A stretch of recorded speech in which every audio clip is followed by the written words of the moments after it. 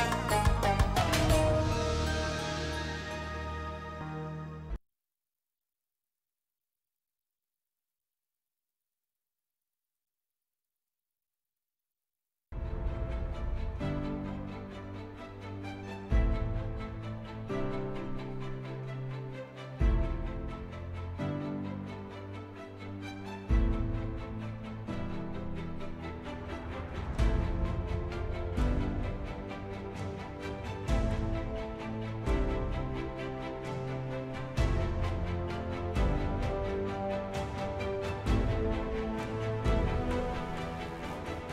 आजकल पूरी दुनिया में ऑनलाइन गेमिंग का चलन जारी है। भारत में भी ऑनलाइन गेम ने मुल्क भर के नौजवानों को पूरी तरह से अपनी गिरफ्त में ले लिया है। बर्बादी का ऑनलाइन खेल इन दिनों इंटरनेट पर खुलेआम चल रहा है। इसके अलावा गेम के ज़रिए ऑनलाइन पैसा कमाने का कारोबार भी जोरों पर है। आमतौर पर इसका निशाना दरमियाना तबका होता है। मिडिल क्लास के पास इतने पैसे नहीं होते कि वो लग्जरी लाइफ के मज़े ले सके। इसलिए अपनी ज़रूरतों को पूरा करने के लिए वो ऑनलाइन गेमिंग के जाल में फंस जाते हैं। गुजशत बरस हुकूमत ने भारत में ऑनलाइन गेमिंग से मुतालिक कुछ उसूल और जवाबित वजह किए थे, जिनमें जुए और सट्टेबाजी पर पाबंदी लगाई गई थी। ऑनलाइन गेमिंग से वाबस्ता नॉर्म्स को नए आईटी एक्ट 2021 के साथ जोड़ा गया है, जिसमें ऑनलाइन गेम खेलने के दौरान किसी तरह की रियल मनी का इस्तेमाल जुए और सट्टेबाजी में नहीं करने के लिए कहा गया था। अप्रैल 2023 में ऑनलाइन गेमिंग के हवाले से नए कवानीन का ऐलान किया गया था, जिनका मकसद किसी भी ऑनलाइन गेम में बेटिंग और जुए के फरोग को रोकना था। सरकार ने ऑनलाइन गेम के दौरान सट्टेबाजी और जुए को रोकने के लिए सेल्फ रेगुलेटरी ऑर्गेनाइजेशन एसआरओ का फ्रेमवर्क तैयार किया था। ऑनलाइन गेमिंग से मुतालिक भारतीय कवानीन पर नज़र डालें तो भारत में उन ऑनलाइन गेम्स को खेले जाने की इजाज़त है, जिनमें किसी तरह का जुआ या सट्टेबाजी शामिल नहीं है। भारत में उन ऑनलाइन गेम को खेला जा सकता है, जिसका कंटेंट बच्चों में किसी भी तरह की लत को बढ़ावा नहीं देता है और गेम खेलने वालों को नुकसान नहीं पहुंचाता है। ऑनलाइन गेम को एसआरओ के ज़रिए रेगुलेट किया जाएगा, जिसमें इंडस्ट्री गेम्स और दीगर स्टेक होल्डर्स शामिल हैं। किस गेम पर कितना पैसा खर्च किया जाएगा, इसके लिए यूज़र के ज़रिए एक लिमिट को सेट किया जाएगा। इस रेगुलेटरी फ्रेमवर्क के तहत पैसा खर्च करने की लिमिट तक पहुँचने से पहले यूज़र्स को वक्फे वक्फे पर वार्निंग मैसेज भेजने का इंतज़ाम है। आज की पेशकश में ऑनलाइन गेमिंग से मुतालिक कवानीन और अहम नुकात पर माहरीन के ज़रिए रोशनी डाली जाएगी। आदाब। मैं मोहम्मद नोमान और इस्तेमाल आपका इस खास प्रोग्राम में जिसका नाम है अपना मुल्क, अपना आइन शक्ति संविधान की।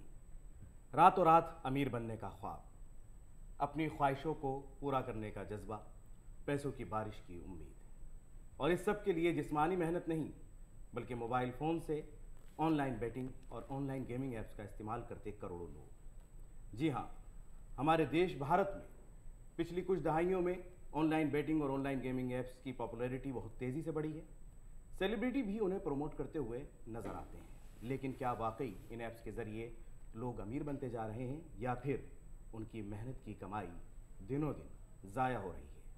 और इन ऐप्स के ज़रिए क्या तशद के रुझान यानी वायलेंस में इजाफा हुआ है? और किस तरह लोगों की ज़िंदगी पर इसका असर पड़ रहा है? इसके ताल्लुक से हमारे मुल्क में क्या कवानीन हैं? हमारी अदालतों ने क्या कुछ कहा है? और कैसे रहें हम सब लोग इन ऑनलाइन बैटिंग ऐप से सावधान। इन तमाम मौजूद पर बात करने के लिए आज हमारे साथ स्टूडियो में मौजूद हैं दो ख़ास मेहमान। हमारे साथ हैं सुप्रीम कोर्ट की जानी मानी वकील मोहतरमा खुशबू जैन साहिबा और हमारे दूसरे ख़ास मेहमान हैं जनाब आशीष देश पांडे आप असिस्टेंट आप एसोसिएट प्रोफेसर हैं। आपका भी आज की इस पेशकश में बहुत बहुत इस्तेमाल है और आप दोनों के अलावा हमारे साथ लॉ के स्टूडेंट भी मौजूद हैं जिनके सवालों को आज की इस पेशकश में हम शामिल करेंगे। सबसे पहले खुशबू जैन साहिबा से जानना चाहूँगा कि जब हम बात करते हैं ऑनलाइन गेमिंग की ऑनलाइन बैटिंग की तो आखिर इसके इकनॉमी पर, इसके असरात के अगर हम बात करें, कितनी, कितना बड़ा ये दायरा इसका फैल चुका है? हमारे मुल्क में अगर हम इकोनॉमी के नज़रिए से बात करें, कितना बड़ा इसका दायरा है और इसको लेकर के कानून की बात भी हम करेंगे? सी, अगर आप दायरे की बात करोगे तो आप में कोई भी इस बात को झुटला नहीं पाएँगे कि किस तरीके से गेमिंग इंडस्ट्री बढ़ती जा रही है। कोई और इंडस्ट्री इतनी नहीं बढ़ रही है जितनी गेमिंग इंडस्ट्री बढ़ती जा रही है। रीज़न पेंडेमिक से अगर आप देखोगे तो पहले तो बच्चे होते थे जो ऑनलाइन गेमिंग में होते थे, अब बच्चों के साथ साथ में और भी बहुत लोग हैं जो सब ऑनलाइन गेम खेलने लगे हैं या ऑनलाइन गेमिंग में इन्वॉल्व हो चुके हैं। तो अगर इंडस्ट्री या आंकड़ों की बात करें तो सही आंकड़ा तो वैसे भी नहीं पता चलेगा बिकॉज़ रेगुलेटेड अनरेगुलेटेड एंटिटीज़ है।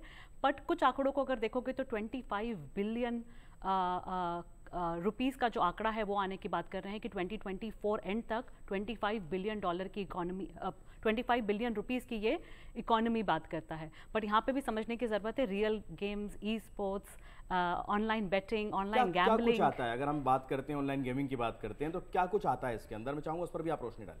सी अगर आप गेमिंग की बात करते हैं तो गेमिंग और गैम्बलिंग में एक बहुत ही थिन लाइन का डिफरेंस है।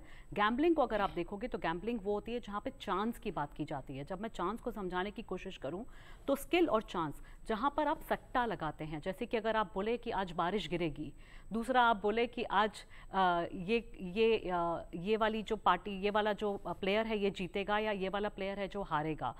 किसी भी तरीके का सट्टा जिसमें दिमाग का इस्तेमाल ना हो, जिस, किसी भी तरीके की बेटिंग पैसा जिसमें आप लगा रहे हो, जिसमें दिमाग का इस्तेमाल ना हो, वो गैम्बलिंग की श्रेणी में आता है, जो ऑफेंसिव है, जो हमारे पब्लिक गैम्बलिंग एक्ट या आईटी एक्ट आप कहीं पे भी देखोगे तो ये एक पनिशेबल ऑफेंस है। दूसरी बात होती है गेम्स की, जिसकी हम आज बात कर रहे हैं। तो गेम्स वो होते हैं जहाँ पे गेम स्किल की बात की जाती है, जहाँ पे दिमाग लगाया जाता है, जहाँ पे दिमाग का इस्तेमाल किया जाता है। तो जहाँ पे भी जो भी गेम खेलने में अगर आप दिमाग का इस्तेमाल कर रहे हैं तो वो एक तरीके से चांस नहीं हुआ तो वो जो है वो लीगल है। आपके पास जो एक्ट्स हैं, उनमें भी उनकी एग्जाम्शन दी गई है। सुप्रीम कोर्ट के जजमेंट्स है, जहाँ पर skill of game of skill को लीगल माना गया है और बोला गया है कि ये गेमिंग की श्रेणी में आते हैं। तो जहाँ जहाँ पे आपको लगता है कि ये गेम ऑफ़ स्किल है, वो आप गेम की श्रेणी में ला रहे हो। दूसरी एक और चीज़ है ई स्पोर्ट्स नामक एक चीज़ आई है, जिस इंडस्ट्री को भी बहुत बड़े रूप से देखा गया है। अगर आप देखोगे तो ओलंपिक्स में भी इन गेम्स से खेलने की बात की गई है कि आप नज़रअंदाज नहीं कर सकते अब इन गेम्स को और इस इंडस्ट्री को।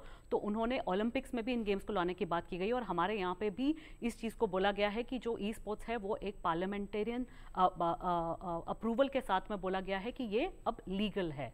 ये लीगल है, लेकिन उसके पहले जो आपने बातें बताई कि जहाँ हम स्किल बेस्ड की बात कर रहे थे और चांस बेस्ड की बात कर रहे थे, ये इसको भी मैं और अभी समझना चाहूँगा, लेकिन उससे पहले हमारे साथ आशीष देश पांडे जी भी हैं, उनसे मैं समझता हूँ कि अगर हम इसके सोशियो इकोनॉमिक इफ़ेक्ट की बात करते हैं तो ऑनलाइन गेमिंग का जो ये कल्चर हमारे यहाँ तेज़ी से बढ़ा है, इसके क्या असरात हमारी सोसाइटीज़ पर, हमारे घरों पर, बच्चों पर किस तरह के असरात पड़ रहे हैं? सबसे पहले मैं आपका शुक्रिया अदा अदा करना चाहता हूँ और दूरदर्शन का भी मैं बहुत ही शुक्रिया देता हूँ, क्योंकि आप, आपने मुझे यहाँ बुलाया। तो सबसे पहली बात जैसे आपने शुरू किया, ये डिस्कशन की शुरुआत जैसे आपने शुरू कर दी कि इजी मनी सबको पैसा मिलाना है, सबको करियर करना है। लेकिन एक दुर्भाग्य की बात यह है कि बहुत से जो आज के युवा है, बहुत से लड़के हैं, उनको कुछ न किए बिना उनको आगे जाना है, उनको ज़िंदगी में बहुत कुछ हासिल करना है। लेकिन ये बात जो है, वो बहुत गलत है। तो जैसे आपने मुझे एक सवाल किया कि सोशियो इकोनॉमिक और फैमिली तो सोशियो इकोनॉमिक फैमिली में भी बहुत उसका गहरा असर होने वाला है क्योंकि अगर बचपन में जाकर अगर ऐसे आदत लगी उनके तो वो आगे जाके उनके जो आगे का जो करियर है उसके ऊपर भी मैं थोड़ा सा ये करूँगा कि क्वेश्चन मार्क क्योंकि अगर दस रुपये उसने लगाए और सौ रुपये मिल गए तो उसको ज़िंदगी में एक आदत ही ऐसा लगे जाएगी कि easy money without doing anything without crossing the borders of the home doing something and getting something some will come some do something some will, will pamper.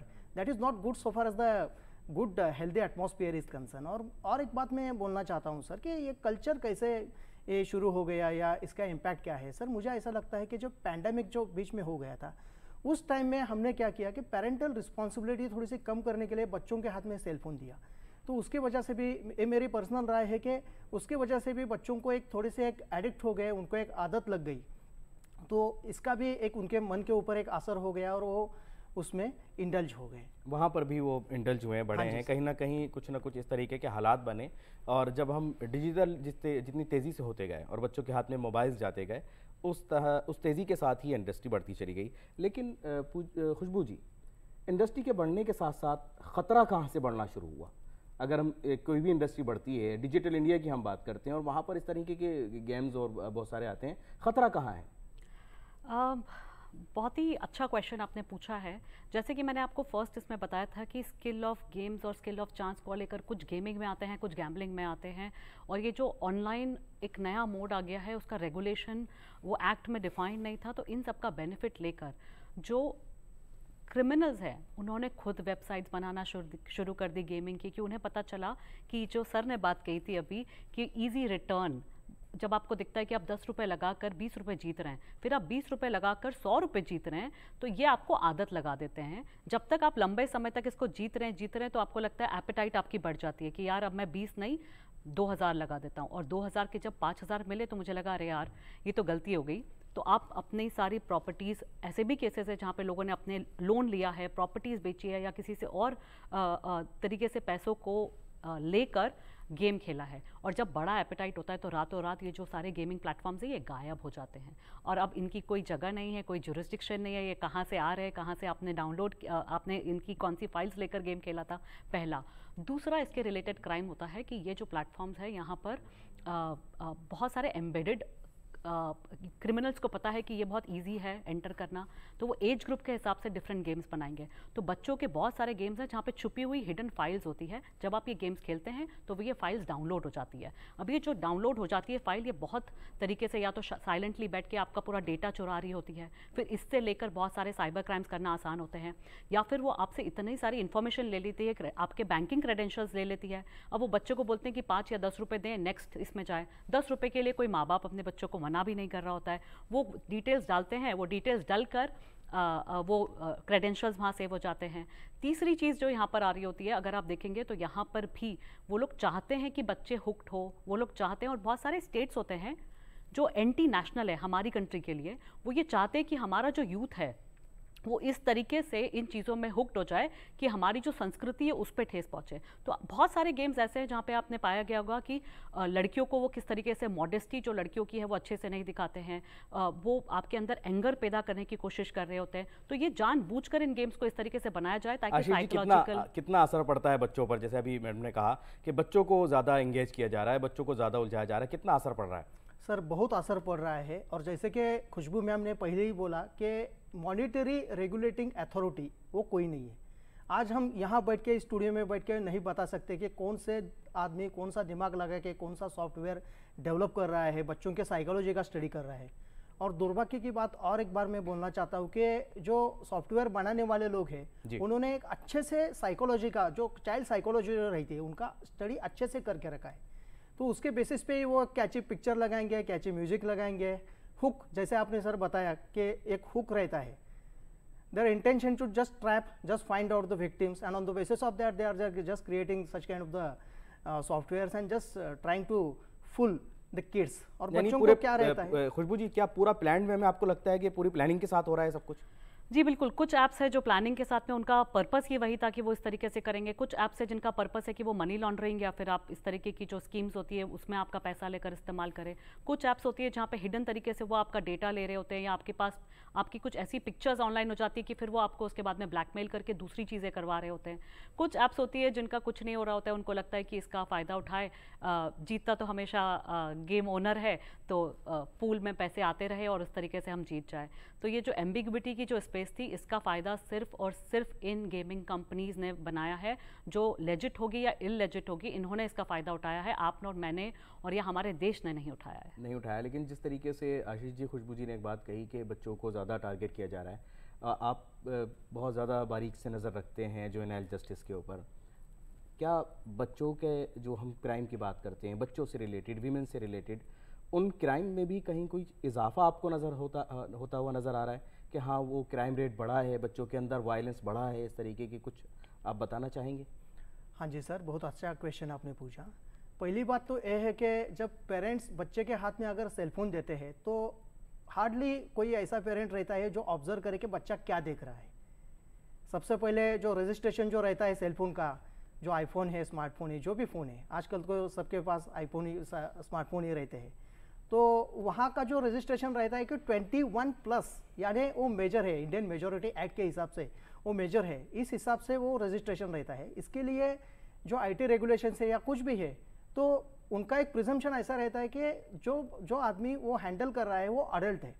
तो हमें कोई कंट्रोल नहीं रहता कि कौन सी तरह के क्या है। और हमें भी ये भी अभी एक रिसर्च में एक आ, आगे आ गया है कि वहाँ जाने के बाद on the basis of the like of any particular person the same videos will be there there will be same picture same information will be send to that particular person तो ऐसे करने के बाद क्या हो जाता है? ऐसे करने के बाद वो बच्चों को एक अच्छा लगता है कि देखो आज मेरा लक कितना अच्छा है। कि आज कितना अच्छा अच्छा मुझे देखने को मिल रहा है, कितने अच्छे अच्छे वीडियोज़ आ रहे हैं। शायद आज मुझे कुछ तो भगवान ने अच्छा मेरे लिए आज रखा होगा। इसकी वजह से आज कुछ तो अच्छा होगा इस उम्मीद से। वो लड़का आगे जाएगा या लड़की आगे जाएगी और वो करती रहेगी। और वो अच्छा नहीं है, उनके करियर के लिए तो ये बिल्कुल अच्छा नहीं है। और दूसरी बात यह है कि जैसे मैंने पहले भी बताया कि पैंडमिक के टाइम क्या हो गया था कि सारे सेशंस ऑनलाइन शुरू थे। तो ऐसा एक पेरेंट्स का भी एक ऐसा एक इम्प्रेशन ऐसा रहता है कि बच्चा कर रहा है तो कुछ तो एकेडमिक कर रहा है। लेकिन वो एकेडमिक करता है इसका कुछ ये नहीं गारंटी नहीं रहती है उसके यानी रास्ता तो एकेडमिक से खुला और उसके हाँ। बाद में वो विंडोज़ जो थी वो उन लोगों के पास जाती चली गई हाँ जी जो कहीं ना कहीं उन बच्चों के लिए नुकसानदेह साबित हो रही हैं। यहाँ हम इससे मुतल कवानीन की बात करेंगे। अट्ठारह में ब्रिटिश गवर्नमेंट, यानी उस वक्त का जो शासन था, वो कानून बनाता है पब्लिक गैम्बलिंग एक्ट की मैं बात करूँगा, खुशबू जी। और उस वक्त की गैम्बलिंग क्या होगी? आप समझ सकते हैं कि शायद ही हम ये कहें कि शायद उस वक्त इलेक्ट्रिसिटी हो या नहीं हो, ऑनलाइन गेमिंग की तो बात नहीं कर सकते उस वक्त। आज क्या हम आज तक उसी कानून के तहत फैसले लेते हैं? उसी कानून के तहत तमाम तरह की गैम्बलिंग को देखा जाता है? या कुछ और भी ऐसी गाइडलाइंस या कानून हैं जिनके, जिनको हम इन, इस तरह के मामला में लेते हैं? जी, आप जिस पब्लिक गैम्बलिंग एक्ट की बात कर रहे हैं और जो- सेम एक्ट बहुत सारे स्टेट्स ने भी खुद का स्टेट एक्ट लेकर आया है, वो अभी भी इस्तेमाल किया जाता है और वो अभी भी एग्जिस्टेंस में है। बट उसके साथ साथ आईटी रूल्स जो है आईटी रूल्स में इन चीज़ों के बारे में बात की गई है। आईटी एक्ट में भी बात की गई थी कि आप गैम्बलिंग नहीं कर सकते हैं। गैम्बलिंग एक पनिशेबल ऑफेंस है ऑनलाइन मोड में। तो वो जो ऑनलाइन की बात थी, वो आपको नए एक्ट जो आपका आईटी एक्ट है और जो आईटी रूल्स है उन दोनों में पाया गया उन दोनों में लाया गया कि वो उस चीज़ को डाले और इस चीज़ को इस्तेमाल करें। बट जैसे मैंने आपको बोला कि वो जो चांस और स्किल है स्किल इसका जो इस्तेमाल खूबसूरती से जो इवन गैम्बलिंग वाले प्लेटफॉर्म्स होते हैं वो इसका इस्तेमाल बहुत खूबसूरती से करते आ रहे हैं। और ये जो स्पेस है हम वैसे भी बोलते हैं साइबर की दुनिया बहुत बड़ी है साइबर की दुनिया में कोई बॉर्डर नहीं है कोई फेंस नहीं है। तो ये जो और बहुत गोपनीयता है। अगर आप इंटरनेट की दुनिया में देखोगे तो जितना आपको लगता है कि आप पूरी दुनिया से कनेक्ट हो सकते हैं, उतना ही अगर आप देखोगे तो वहाँ पे ज़ीरो ट्रांसपेरेंसी है, ज़ीरो ओपे एब्सोलूट ओपेकनेस है। तो इसका इस्तेमाल करते करते ये जो प्लेटफॉर्म्स हैं, ये सब तरीके से सारे गेम्स, सारे गैम्बलिंग सब कुछ चला रहे हैं और इनको बंद करने के लिए एक ही तरीका होता है, जो आपके आईटी एक्ट में दिया गया है कि सरकार के पास में अगर कोई भी वेबसाइट जो गैम्बलिंग करवा रही है उनको वो वहाँ से इंडियन जुरिस्डिक्शन से ब्लॉक कर सकती है। पर ब्लॉकिंग के बाद में भी ये जो है प्लेटफॉर्म्स ये बहुत आ, आ, चालाक हैं ये एक पचास डॉलर की फ़ीस देके वापस आ जाते हैं। फिर पचास डॉलर की फ़ीस देके वापस आ जाते हैं। इसीलिए हमें बहुत ज़रूरी है कि हमें कंटिन्यूटी में जो एनफोर्समेंट है, वो करना बहुत ज़रूरी है। और इसीलिए अगर आप देखेंगे तो आईटी रूल्स जो आए थे अभी लेटेस्ट उसमें एसआरबी की बात की गई है, जो है सेल्फ रेगुलेटरी बॉडीज़ कि अगर आपको इंडियन जुरिस्डिक्शन में कोई भी गेम कंपनी चलानी है तो आपको एसआरबी के अंडर अपने आप को रजिस्टर करना पड़ेगा। एसआरबी जो होगी सेल्फ रेगुलेटरी बॉडी जो होगी, वो रिस्पॉन्सिबल होगी गवर्नमेंट ऑफ़ इंडिया को। बिकॉज़ गवर्नमेंट ऑफ़ इंडिया अगर रोज़ देखेगी कि सौ ऐप्स आ रही है या 500 वेबसाइट्स आ रही है, बहुत मुश्किल है उस चीज़ को नेविगेट करना। तो वो उनके हिसाब से जाएगी एसआरबी के ऊपर और लाइबिलिटी एसआरबी की होगी। एसआरबी चेक करेगा गेम ऑफ़ चांस है स्किल है ई स्पोर्ट्स है, किस कैटेगरी में बैठता है, नहीं बैठता है और उनको लाइसेंस दिया जाए या नहीं दिया जाए। तो ये एक नया प्रावधान जो है हमारे आईटी एक्ट में आया है। चौथी चीज़ और है एडवर्टीजमेंट को लेकर भी बहुत सारी चीज़ें बोली गई है कि आप जो भी एडवर्टीजमेंट गैम्बलिंग को लेकर है वो नहीं होगा। बट वहीं वो जो मैं आपको बोल रही हूँ चांस और स्किल को लेकर जो एक वो है वो अभी भी चल रहा है। वो भी चल रहा है और जैसे आपने मार्केटिंग की बात की एडवर्टीजमेंट की बात की तो माही मैं यहाँ आपसे समझना चाहूँगा कि अगर अ, कुछ इस तरह की बैटिंग ऐप्स हैं जिनका नुकसान हो रहा है तो फिर उनकी मार्केटिंग उनका एडवर्टीजमेंट इस तरह से इतने बड़े पैमाने पर क्यों हो रहा है? क्या उसके लिए भी कोई कानून है? जिसमें आखिर में वो बहुत सीधे साधे अंदाज में एक बहुत ही तेज़ अल्फाज के साथ बहुत एक फास्ट लाइन आती है कि इसके अंदर आर्थिक जोखिम जोखिम और रात लगने खतरा सुबह।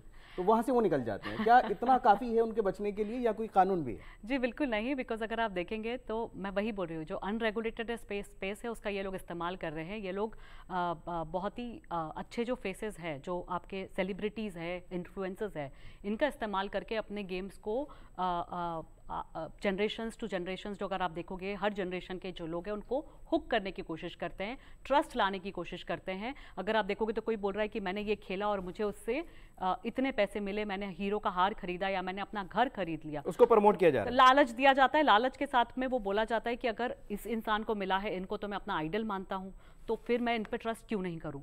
तो ये जो पैसे का जो गेम है, ये बहुत बड़ा है यहाँ पर बिकॉज़ जैसे मैंने आपको बताया कि इनके पास में returns at last gaming company जीतती आप और मैं पैसे नहीं जीतते हैं। तो इनके पास में कॉर्पस बहुत बड़ा होता है इस तरीके के एडवर्टीजमेंट्स करने के लिए इन्फ्लुएंसर्स एडवर्टीजमेंट्स करने के लिए, और आपको उनके ऊपर रिलायबिलिटी बढ़ाने के लिए या उनका ट्रस्ट बढ़ाने के लिए। तो ये सारी चीज़ों पर प्लीज़ प्लीज़ प्लीज़ बिल्कुल भी विश्वास ना करें। हम हम हम इन्फ्लुएंसर्स की दुनिया में हैं, हम सोशल मीडिया की दुनिया में हैं। लेकिन इन्फ्लुएंसर्स को भी अब कहीं ना कहीं देखा जाए तो एक दायरे में लाया गया है कि अगरचे उनके इन्फ्लुएंस के साथ कोई कहीं कोई गलत इकदाम उठाता है तो वो भी रेस्पॉन्सिबल और जिम्मेदार होंगे। अब हमारे कानून ने उस चीज़ को भी शामिल किया है। आशीष जी से जानना चाहूँगा कि जब हम बात करते हैं अठारह की यानी 1867 के एक कानून की बात करते हैं पब्लिक गैम्बलिंग एक्ट की उसके बाद आज़ादी के बाद सेवन्थ शेड्यूल के अंदर हम उसे स्टेट लिस्ट में शामिल करते हैं। क्या हमारी स्टेट्स ने कुछ अलग कानून इसके ताल्लुक से बनाए हैं जहाँ पर उन्होंने रोकने की इसको एक अच्छी कोशिश की हो? सर ए आंसर देने के पहले मैं और एक बात जो खुशबू जी ने बहुत अच्छे से बताया कि रेगुलेशंस रूल्स उसके बारे में बताया। एक 2019 में एक कानून आया उसमें जो कंज्यूमर प्रोटेक्शन एक्ट 1986 का था उसमें उन्होंने एक कॉन्सेप्ट लाई सर एंडोर्समेंट करके। सो so, एंडोर्समेंट में ऐसा एक एक प्रोविज़न ऐसे है उसमें एक ऐसा एक एक सेक्शन एक ऐसा है सर कि उसमें अगर कोई आदमी अगर कोई सेवा सेवा या कोई वस्तु, यानी कोई सर्विसेज़ और any goods if he is promoting then he should know the authenticity of that goods और that services so under that also there can be prosecution क्योंकि पिछले एक दो तीन दिन पहले जब मैं यूट्यूब पे कुछ मेरे टीचिंग के लिए कुछ देख रहा था तो उसमें मैंने देखा कि एक बॉलीवुड के बहुत बड़े एक्टर हैं सर। तो वो बोल रहे थे कि ऐसे गेम में आगे जाने के लिए आपको प्रैक्टिस की ज़रूरत थी। So I was also badly shocked. How come that person who is 60 plus and who is one of the very big names so far as Bollywood is concerned, how come he is coming forward and he is saying that इसके इसके लिए practice की ज़रूरत है? एक actress का मैंने भी देखा कि यहाँ खाली आश्वासन नहीं दिया जाता लेकिन पैसा भी दिया जाता है। But such kind of the things are very bad that is also one of the important part और और मैं थोड़ा सा और पीछे जाता हूँ और आपने जो जुवेनाइल जस्टिस एक्ट के बारे में बोला जैसे 2013 में 2012 में निर्भया के बाद दिल्ली गैंग रेप के बाद भी कुछ अमेंडमेंट हो गया हो गई। लेकिन एक बात ऐसा है कि सर जो क्राइम करने के जो ट्रिक्स है वो ज़्यादा से ज़्यादा बच्चे जब उनके हाथ में मोबाइल आता है तब वो भी इस्तेमाल करके वहाँ से भी वो सीखते हैं वहाँ से भी वो प्रेरणा लेते हैं और आगे से जानना चाहूँगा क्या वाकई ये कि, कितना क्योंकि आप पेशे से वकील हैं आप जानती होंगी। जो आशीष जी कह रहे हैं क्या वाकई जो देखते हैं देखने के बाद वो वायलेंस उस तरह की हरकतें बढ़ रही हैं यूथ के अंदर? जी, बिल्कुल। ये तो बहुत सारे केसेस में पाया गया है। कुछ कुछ केसेस थे जहाँ पर रेप की बात की गई थी।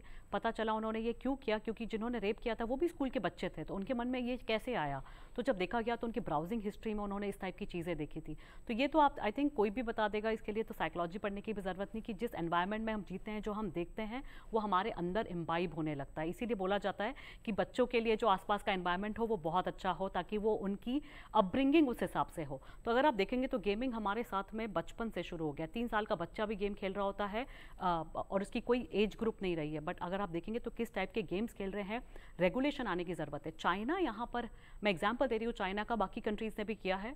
चाइना ने ये गेम्स डाला है, ये रूल्स लाया है, ये लॉ है वहाँ पर कि अगर कोई भी गेम जो बच्चे देख रहे होते हैं, एक टीन्स के बाद तक के, अगर उसमें किसी भी तरीके का खून हो रहा है, खून खराबा हो रहा है तो वहाँ पे लाल कलर का खून नहीं दिखाया जाएगा, वहाँ पे ग्रीन कलर का धुआँ निकलेगा। ये उनका लॉ है। कोई भी गेमिंग कंपनी वहाँ पे वो नहीं दिखा सकती है। वहाँ पे ये भी मेजर करने के लिए बोला गया है कि आप कितना उसमें आ, आ, आ, कि, किस तरीके के प्रोसीजर आप अपना रहे हैं कि ताकि वो बच्चा उस पर हुक्ड ना हो ताकि वो इतना ना लगे कि उसको कुछ खाने पीने सोने का और कुछ तरीका ना हो। तो ये भी जानबूझ के डाला जाता है कि गेमिंग को इतना इंटाइसिंग बना जाए बना बनाया जाए कि वो कोई छोड़ ना पाए उस चीज़ को। क्या तो हमारे यहाँ इस तरह की कोई गाइडलाइंस हैं? खुशबू जी कि आपकी इसकी इस मौजू पर नज़र है?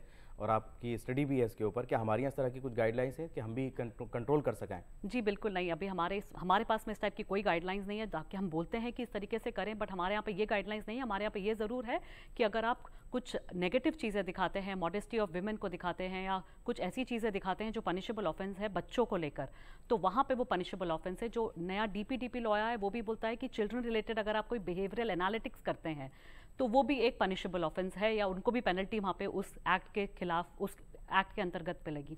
पर अगर आप देखेंगे तो ऐसे गेमिंग को लेकर स्पेसिफिक लॉज जो बच्चों को लेकर बनाए जाएँ और इस तरीके से हो, वो अभी भी हमारे यहाँ पे नहीं है। आपने डीपीडीपी की बात करी है प्राइवेसी के ऊपर मैं आता हूँ, आपसे बात करता हुआ इसी मुद्दे के ऊपर। जब हम इस तरह की ऐप्स की बात करते हैं तो क्या कहीं प्राइवेसी का भी एक खतरा निकल करके सामने आता है, खुशबू जी? जी, बिल्कुल बिकॉज़ आप देखोगे ये सारी ऐप्स जो है, जब आप इनको डाउनलोड करते हैं, ये आपसे सारे एक्सेस मांगते हैं। ये एक्सेस क्यों मांगते हैं? क्योंकि आप जब गेमिंग प्लेट गेमिंग पे गेम खेल रहे होते हैं, इनके पास में खुद के in app in house loan apps होती है कि आप इनसे और पैसा वहाँ पे उधार ले लें और उसके बाद में आप करें। तो ये आपके सिस्टम में एंटर करने की कोशिश करते हैं ताकि जब आप उनको पैसा रिटर्न ना कर पाए अगर आपका जो लाइबिलिटी है वो ना पे कर पाए या फिर जो आपने लोन लिया है वो आप वहाँ पे उनके उसमें पे ना कर पाए तो वो आपके जो डिटेल्स है उसका मिसयूज़ करते हैं। अगर आपकी फ़ोन बुक है तो वो आपको स्क्रीनशॉट भेजेंगे कि हम आपके इस नंबर पर फ़ोन कर देंगे और इनको बता देंगे या आपके कुछ पिक्चर्स है वो हम आपको वायरल कर देंगे। ब्लैकमेलिंग शुरू हो जाती है जी बिल्कुल। जी बिल्कुल। यहाँ से यहाँ पर मैं आशीष जी से जानना चाहूँगा कि जिस तरह खुशबू जी ने कहा कि एक तीन साल का बच्चे की शुरुआत हो जाती है गेमिंग की यहाँ पर कौन जिम्मेदार है उसको गेमिंग की तरफ़ ले जाने में?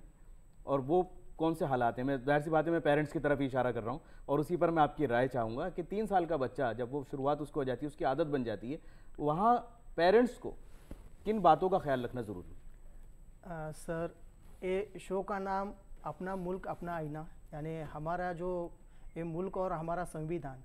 अगर हम हमारे मुल्क के इतिहास की अगर हम सोचे तो इतिहास में ऐसा है कि एक ज़माना था जब हम एकत्र कुटुंब जो बोलते हैं यानी जो जॉइंट फैमिली अंग्रेज़ी में जिसको बोलते हैं वहाँ दादा दादी घर में रहते थे वहाँ घर में कोई एल्डरली पीपल रहते थे। तो तो वो जो वो जो लोग थे वो बच्चे की ज़िम्मेदारी लेते थे और बच्चे भी हमेशा एंगेज रहते थे। कुछ ना कुछ घर का काम करेंगे उनकी कहानियाँ सुनेंगे उनसे राय मांगेंगे। और आगे जाएँगे। और सबसे इंपॉर्टेंट बात यह है कि उस ज़माने में ऐसा था कि ज़्यादा से ज़्यादा जो लोग रहते थे, वो बाहर जाके ग्राउंड में भी खेलना वगैरह, ऐसे भी चीज़ें थी।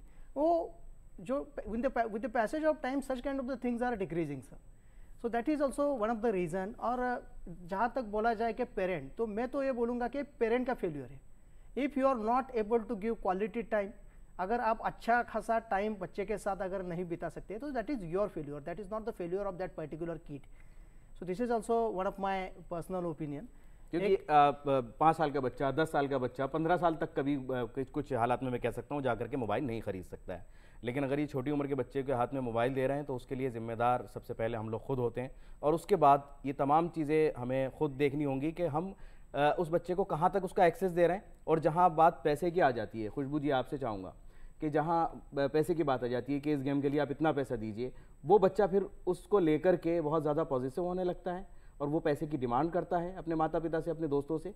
और वो किस तरह से पैसे का एक एंगल उसमें आ जाता है जहाँ से बचना ज़रूरी है और पेरेंट्स को इसका ध्यान रखना बहुत ज़्यादा ज़रूरी है कि उसका एक्सेस बैंकिंग तक नहीं होना चाहिए। सी मैं थोड़ा सा अलग व्यू लूँगी आप दोनों से इस बात पे बिकॉज़ जब आप ये बोलते हो कि पेरेंट को कंट्रोल करना ज़रूरी है आज हम उस दुनिया में नहीं है जहाँ पे आप बच्चों को बोल सके कि मैं पंद्रह साल या बारह साल की उम्र तक स्मार्टफ़ोन उनको एक्सेस नहीं करने दूँगा बिकॉज़ उनके जो पेयर ग्रुप्स हैं उनके जो दोस्त हैं वो सारे वो गेम खेल रहे होते हैं वो भी एक इम्पैक्ट हम्म। होता है कि मेरे दोनों दोस्त ये वाला गेम खेलते हैं अगले दिन वो स्कूल में बात करते हैं और मैं नहीं खेलता हूँ वो गेम बट आपको ये देखने की ज़रूरत है एज अ पेरेंट कि आप सारे गेम्स वो बच्चों के साथ में खुद खेलें। आप समझे कि वो किस टाइप का गेम है। क्या उस गेम में इस तरीके की चीज़ें हो रही है कि वो बोल रहा है कि अगले अगले लेवल पे जाने के लिए आप अपने मम्मी का फ़ोटो डालकर खींच कर डालें। या आप अपना वॉल का फ़ोटो खींचें या एंट्रेंस का फ़ोटो खींचें या फिर आप नेक्स्ट लेवल पे जाने के लिए ये करें या फिर दो दो रुपये पाँच पाँच दस दस रुपये का जो डाल रहे हैं तो क्या वो ऐप जिस ऐप पे वो गेम खेल रहा है, वो प्रॉपरली डाउनलोडेड है ऐप स्टोर से। उसकी रिव्यूज़ क्या है, उसकी रेटिंग्स क्या है, क्या वो प्रॉपरली लेजिट ऐप है या नहीं है, ये सब आपको देखना बहुत ज़रूरी है। क्या उन गेम्स में नेक्स्ट लेवल पे जाके मॉडेस्टी ऑफ़ विमेन को हर्ट कर रहे होते हैं? अब्यूजिव लैंग्वेजेस यूज़ होती है। क्या वहाँ पर बहुत लड़ाई होती है जिसका इम्पैक्ट हो सकता है? ये सब बाहर से नहीं कर किया जा सकता। ये आपको खेलना पड़ेगा अपने बच्चे के साथ, आपको इन्वॉल्व होना पड़ेगा, आपको उनको सिखाना पड़ेगा कि कहाँ कहाँ पे किस चीज़ का ध्यान दे, कहाँ पे रोके बच्चे को, कहाँ उसको बताए कि कभी भी फ़ोटो खींच के नहीं डालनी है नेक्स्ट लेवल पे जाने के लिए कभी भी कैमरे का एक्सेस नहीं देकर आपको कुछ जवाब देना है। तो ये सारी चीज़ें जो है बिना खेले नहीं आएगी। वो ज़माना पुराना हो गया कि आप अपने आप को दूसरी जनरेशन का बोले और आपके बच्चे को दूसरे जनरेशन का आपको उनकी जनरेशन पे आना पड़ेगा आपको सीखना पड़ेगा आपको समझना पड़ेगा और आपको क्लोजली वॉच रखनी पड़ेगी और समय देना होगा सबसे ज़्यादा। क्योंकि अगर घर में चार लोग हैं तो पता लगा कहीं कहीं पाँच मोबाइल्स होते हैं। तो ऐसे हालात में आपको बच्चों के लिए समय देना होगा। यहाँ पर अब समय हमसे ये कह रहा है वक्त हमसे ये कह रहा है कि यहाँ एक ब्रेक लेना होगा। वक्फे के बाद हमारे जो लॉ के स्टूडेंट हैं, उनके सवाल होंगे और हमारे एक्सपर्ट्स के जवाब।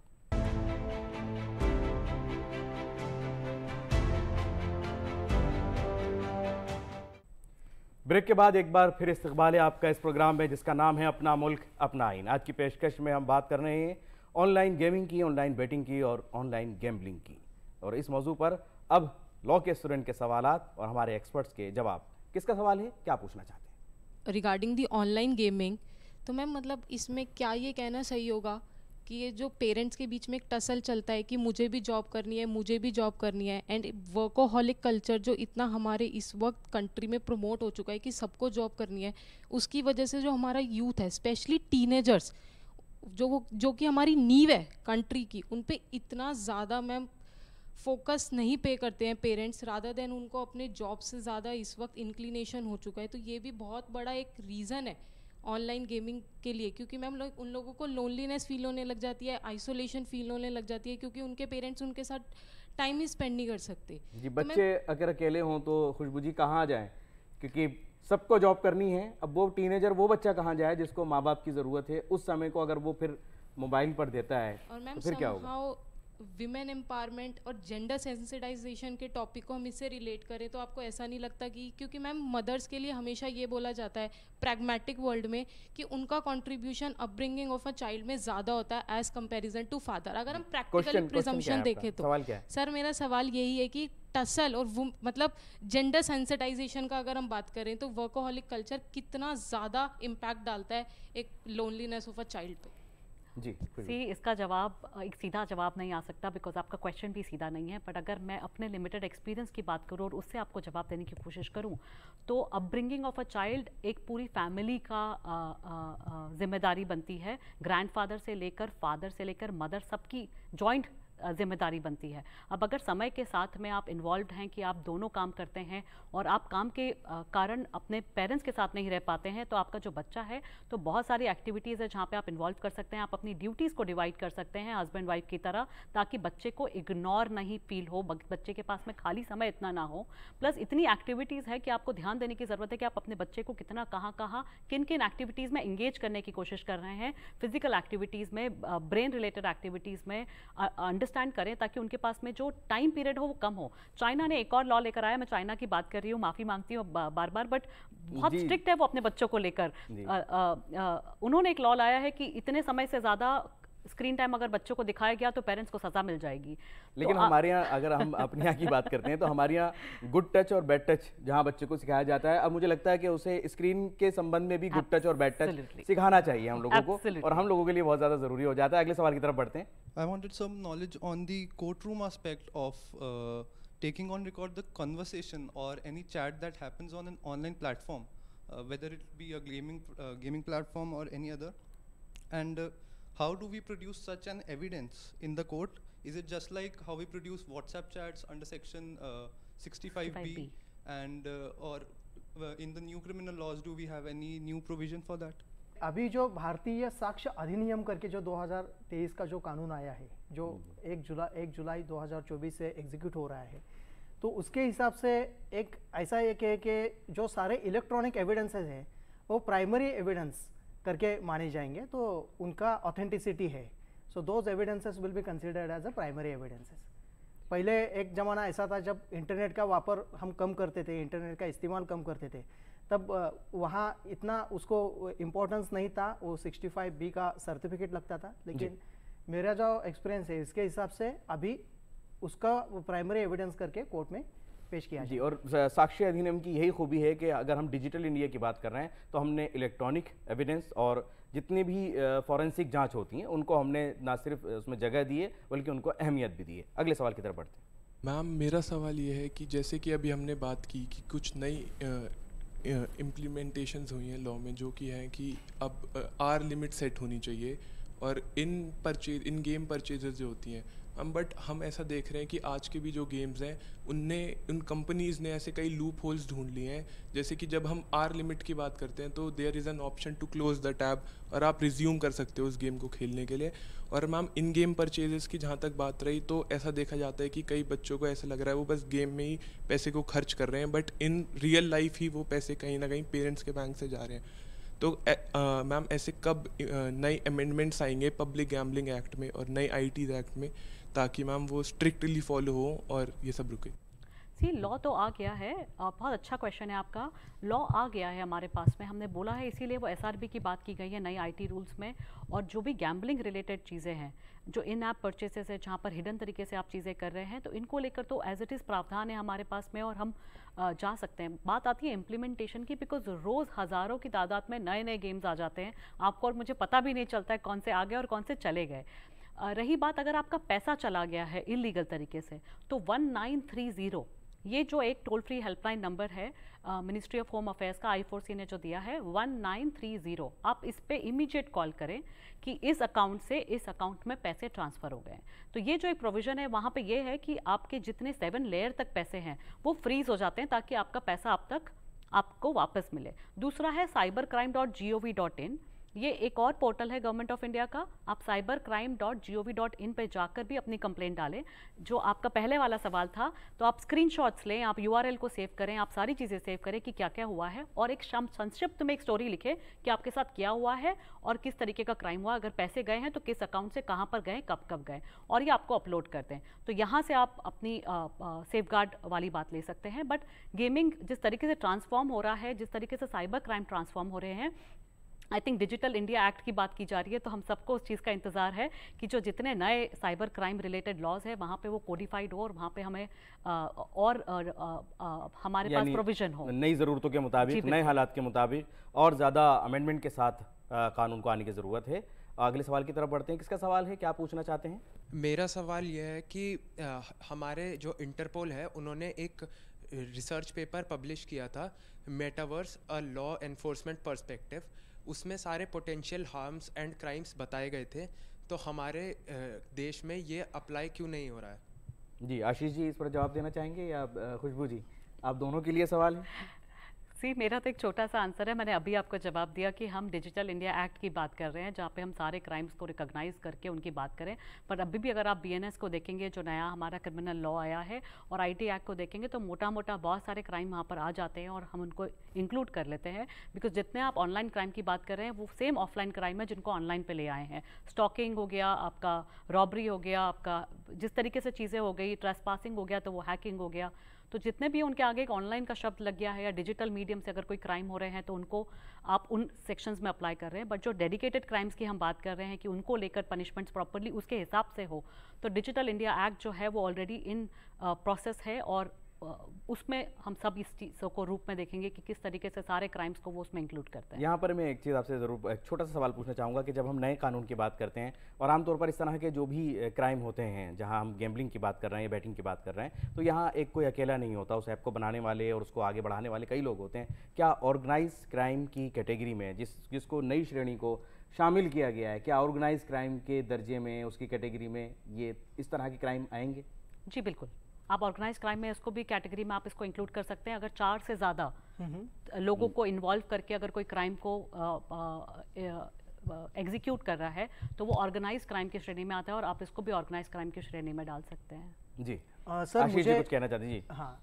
एक बात मुझे यहाँ बोलने मुझे ऐसा लग रहा है कि एक बात बतानी चाहिए कि कानून नया लाना ये हर एक चीज़ के ऊपर एक सोल्यूशन नहीं है। ज़्यादा से ज़्यादा जितने कानून लाते हैं उसका मतलब ये है कि वी पीपल आर इमेच्योर्ड हमें ज़्यादा से ज़्यादा कानून चाहिए, ज़्यादा से ज़्यादा laws by laws rules regulations policies that means you are not much discipline तो अगर हम हर एक स्टेक होल्डर अगर घर में, जहाँ बच्चे के संस्कार जो रहते हैं, या घर से, या किसी कम्युनिटी से, या किसी ऑर्गेनाइजेशन से, वहाँ अगर सेल्फ डिसिप्लिन लाई जाए तो ज़्यादा से ज़्यादा कानून लाने की ज़रूरत नहीं। क्योंकि advocate Ram Jethmalani use to come to my earlier organization और उनका एक हमेशा का एक डायलॉग रहता था क्या in India there is a jungle of law I repeat in India there is a jungle of law where jungle law prevails so such a kind of statement you use to made क्योंकि ज़्यादा से ज़्यादा कानून लाना, इसका मतलब ये नहीं है कि कानून लाया और कल से अच्छा हो गया, परसों से बहुत ही अच्छा हो गया। ऐसे कभी नहीं होता लेकिन कानून के साथ साथ कुछ बातों में और आप दोनों से जानना चाहूँगा क्योंकि क्राइम के ऊपर आपकी काफ़ी नज़र रहती है। हाँ जी सर अगर हम जो पेरेंट्स इस वक्त ये प्रोग्राम देख रहे हैं उनके ज़रिए भी उन तक भी हम पहुँचने की कोशिश करेंगे इस, इस सवाल के ज़रिए कि वो ये सोचते हैं कि शायद बच्चा सिर्फ़ गेम खेल रहा है लेकिन क्या ये गेम उसको डिजिटल अरेस्ट की तरफ़ डिजिटल रेप की तरफ़ और बहुत सारे क्राइम की तरफ़ लेकर के जाएगा? और किस तरह से लेकर के जा रहा है? पहले खुशबू जी से चाहूँगा उस पर वो मुख्तसर सी रोशनी डालें और आपसे भी उसके ऊपर मैं एक ओपिनियन लूँगा। सी मैंने जैसे बोला कि हर नया गेम आता है कि कैसे मैं अ, अपने आप को पूरी दुनिया में एम्पावर कर लूँ अपने आप को या सबके पास चला जाऊँ या सब सबके फ़ोन में मेरा ऐप हो। उसके लिए वो बहुत सारी चीज़ें कर रहे होते हैं। ये जो नेगेटिव माइंडसेट से आते हैं वो आते ही इसीलिए हैं। या तो वो कोई एंटी नेशनल स्टेट एजेंसी की तरफ़ से होते हैं कि वो हमारे देश में इस तरीके का काम करना चाहते हैं, या फिर बहुत सारे टेररिस्ट होते हैं जो इससे पैसा लेने की कोशिश करते हैं, या फिर वो जेनुअनली आपको हुक करने की कोशिश करते हैं एंटाइज करने की कोशिश करते हैं। जो आप डिजिटल अरेस्ट की बात कर रहे हैं, वो भी होता है। जो आप डिजिटल रेप की बात कर रहे हैं, वो भी होता है। जो अब्यूसिव लैंग्वेज जो है वो आपके अंदर आ जाती है वो भी इस चीज़ से मुमकिन हो रहा है और होता है। और उसके साथ साथ में और भी बहुत सारी नेगेटिव चीज़ें हैं बॉर्डर लाइन क्रिमिनल चीज़ें हैं जो आपके अंदर आती जा रही है इन ऐप्स की गेमिंग बच्चे ऐप्स के के बिहेवियर में अगर कुछ चेंज आ रहा है आशीष जी तो वहाँ पर पेरेंट्स को भी अलर्ट होने की ज़रूरत है। अगर जैसे अभी खुशबू जी ने कहा कि अगरचे उसकी भाषा में कुछ इस तरीके से अब्यूसिव वर्ड्स अगर आ रहे हैं उसके अंदर वायलेंस का एक बिहेवियर पनपने लगा है तो वहाँ पर देखा जाए तो अलर्ट होने की ज़रूरत है उस वक्त पेरेंट्स के लिए। आशीष जी। हाँ जी, बिल्कुल अलर्ट होने की ज़रूरत है। जनरली क्या होता है, एक साइकोलॉजी के हिसाब से मैं एक बताता हूँ कि जो नई जनरेशन है, वो टेक्नोलॉजी जब इस्तेमाल करते हैं तो they are much ahead so far as the old generation is concern और सबसे पहले पेरेंट्स को क्या लगता है कि उनका अभिमान लगता है बच्चों का, कि बहुत अच्छे से इस्तेमाल करता है। एक बार उसको पेटीएम का नंबर दिया तो स्विगी से उन्होंने खाना मंगवाया, उसके बाद दो तीन बार पेमेंट का जब पासवर्ड डालना था तब किया, अच्छे से ट्रांजैक्शन किया। लेकिन ये क्या होता है स्लोली स्लोली बच्चे उसमें इंडल्ज हो जाते हैं और जैसे मैंने पहले ही आपको बताया कि पहले ऐसा लगता है कि और आजकल के बच्चों को क्या हो रहा है कि जो मोबाइल पे जो इन्फॉर्मेशन आती है, वो ज़्यादा सही है। जो दादाजी बोलते हैं, घर में नानी बोलती है, पिताजी बोलते हैं, माताजी बोलते हैं, उससे ज़्यादा, उनको ज़्यादा से ज़्यादा सच्चाई क्या लगती है कि जो सेलफोन पे है। क्योंकि वो वर्चुअल वर्ल्ड में रहते हैं खुद की दुनिया में में हमें क्रॉस चेक का भी एक जो एक फंडा है वो समझाने की ज़रूरत है कि वो खुद क्रॉस चेक भी करें और उसको समझें और उनको समझाया भी जाए। लेकिन यहाँ खुशबू जी एक चीज़ और जानना चाहूँगा जब ऑनलाइन गेमिंग की हम बात करते हैं उन गेम्स को खेलते हुए कुछ ऐसी विंडोज़ हैं जो खुलती चली जाती हैं और पता नहीं चलता। वो उसके बारे में मैं चाहूँगा आप ज़रूर रोशनी डालें कि वो पेरेंट्स किस तरह से उसको पकड़ें किस तरह से उसको समझें। सी पहले तो आप ना ब्राउज़र पे जाकर किसी भी तरीके के गेम्स खेलने की कोशिश ना करें। आप इन ऐप जो आपके ऐप स्टोर्स है या प्ले स्टोर्स है वहाँ से डाउनलोड करें उनकी रेटिंग्स देखें। रैंडम किसी भी ए के फ़ाइल या अ, अ, किसी और ब्राउजिंग ब्राउजिंग से वहाँ से जाकर गूगल सर्च इंजन से लेकर किसी गेम को डाउनलोड ना करें। अगर अभी दूसरी विंडोज़ खुल रही है तो देर इज़ पूरी पॉसिबिलिटी है कि वो जो विंडो है उसमें कुछ एम्बेडेड मेलिशियस कुछ कंटेंट होगा या लिंक होगी जो या तो आपके फ़ोन को कंटेमिनेट करेगी या मैंने जैसे बोला था कि आपका पीछे से आपका वो बैकडोर एक एंट्री हो जाएगा उनके लिए ताकि वो डेटा सीमलेसली उनके सिस्टम में आना शुरू हो जाए। फिर उसके बाद में जो साइबर क्राइम्स होते हैं कि हमने तो कहीं ओटीपी नहीं दिया, हमारा ओटीपी कहीं से चला गया, हमारा तो सिस्टम हैक हो गया, किसी ने मेरे फ़ोन से इतने इतने मैसेजेस किसी को भेज दिए, मैंने तो किया ही नहीं था। ये सारे वो तरीके होते हैं वहाँ से करने के उन क्राइम्स को कमिट करने के। दूसरे होते हैं, बहुत बार ब्लैकमेल्स होते हैं एबडक्शन के कॉल्स आते हैं। उसमें वो आपको जिस तरीके की इन्फॉर्मेशन देते हैं तो आपको ट्रस्ट हो जाता है कि अरे हाँ ये तो है। वो क्यों होता है? क्योंकि उनके पास में एक्सेसिव इन्फॉर्मेशन आ गई है इन बैकडोर लिंक के थ्रू आपके जो फ़ोन में आ गई है। तो आप कंटिन्यूसली देखें किस तरीके के आप ऐप्स को डाउनलोड करवा रहे हैं। इसीलिए जब हम गाड़ी चलाते हैं तो उसके पहले हमारे पास में ड्राइविंग के नुआंसेस आते हैं। तो जब हम इंटरनेट की दुनिया पे जा रहे हैं तो हमें उसके नुआंसेस सीखना ज़रूरी सीखना है। ज़रूरी। बच्चों को सिखाना भी बहुत ज़रूरी और है। ये ये ये तमाम चीज़ें पेरेंट्स के लिए बहुत ज़्यादा ज़रूरी हो जाती हैं कि उनको तमाम चीज़ें समझानी और उनको बतानी बहुत ज़रूरी होती हैं। यहाँ पर हम एक सवाल और लेंगे। जी किसका सवाल है? क्या पूछना चाहते हैं? Hello, sir. Hello, ma'am. My name is Yashnandani Singh, and my question is that there are many states in India have, which have very stringent laws against betting and gambling. However, the state is lacking behind the center. And what are the ways that the center can ga gain parity, parity with it?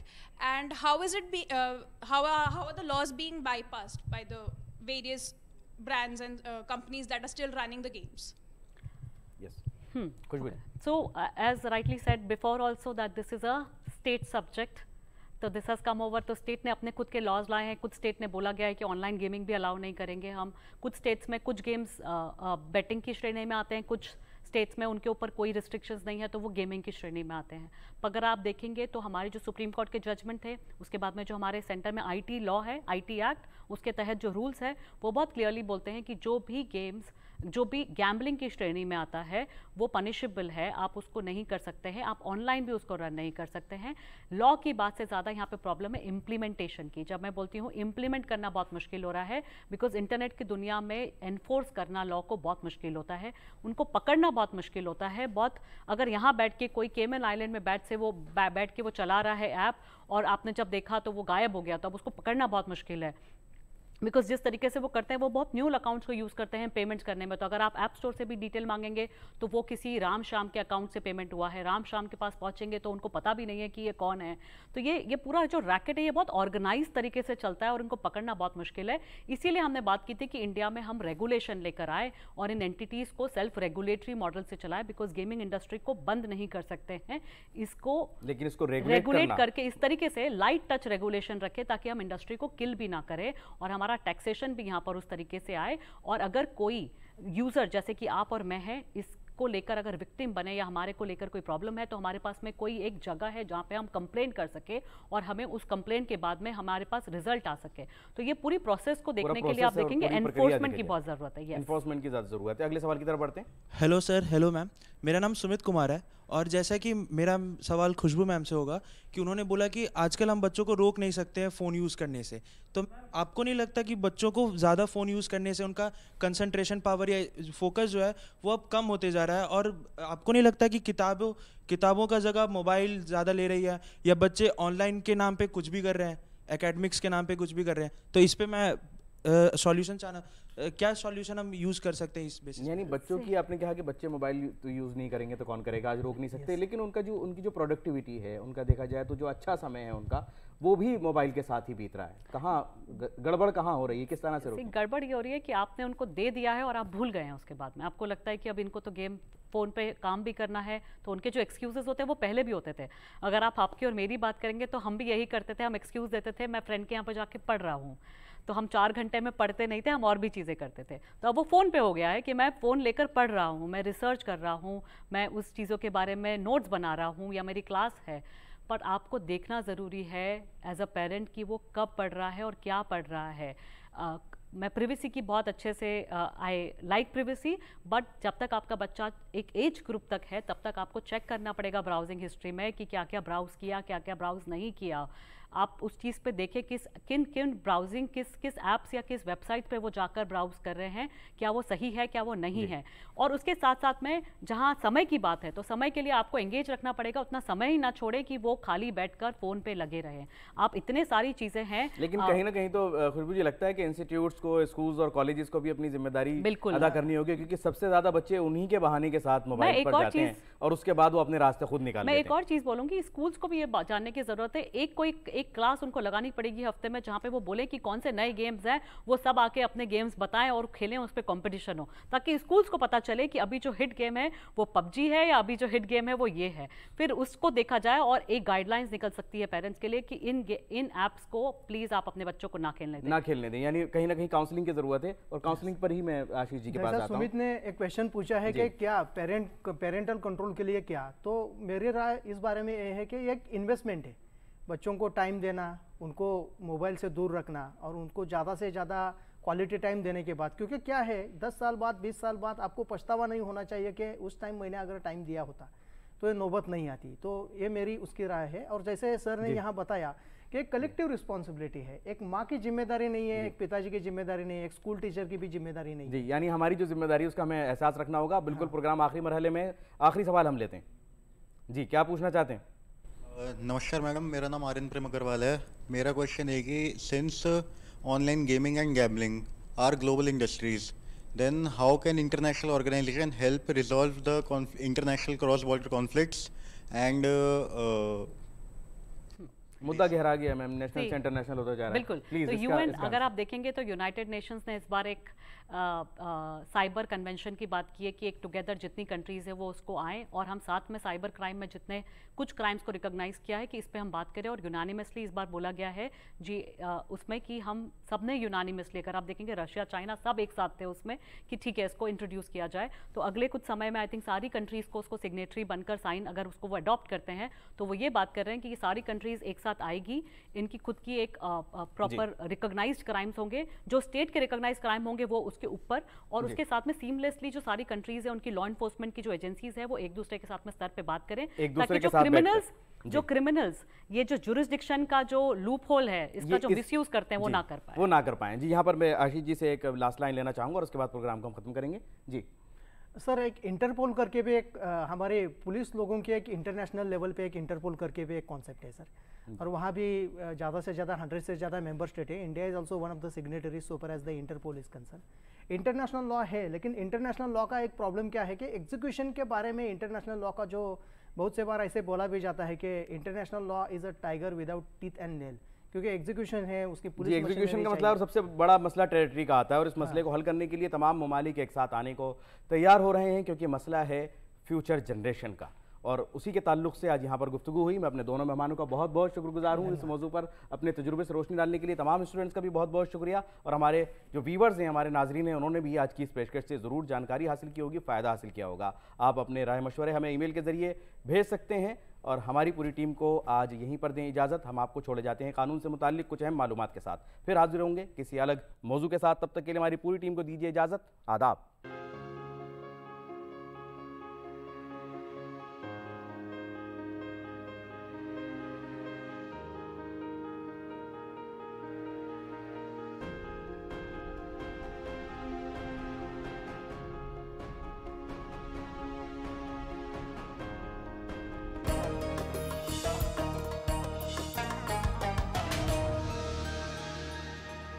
Birthday.